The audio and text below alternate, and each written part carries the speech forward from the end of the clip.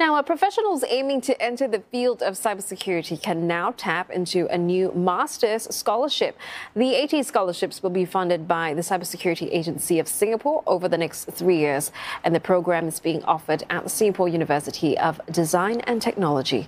The program aims to strengthen the cybersecurity workforce and support the sector's growth. Minister in charge of Smart Nation and Cybersecurity, Josephine Teo, says operational technologies in critical sectors like water and energy are vulnerable to cyber attacks. Also speaking at the Operational Technology Cybersecurity Expert Panel Forum earlier today. There is no way of avoiding the risks without systematic efforts to find and patch vulnerabilities. We must also keep abreast of new cybersecurity threats share our knowledge, and collaborate to help each other.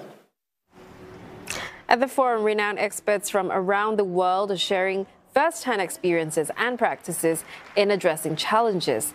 After a two-day forum, they will visit various facilities and institutes of higher learning to learn more about Singapore's cybersecurity landscape.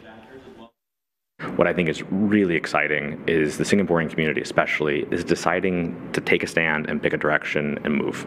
It's not let's sit around and talk about this. It's not let's have 30 more meetings to talk about why this is important. It's let's convene, let's come up with ideas, let's execute something, let's come back the next year and move it forward again.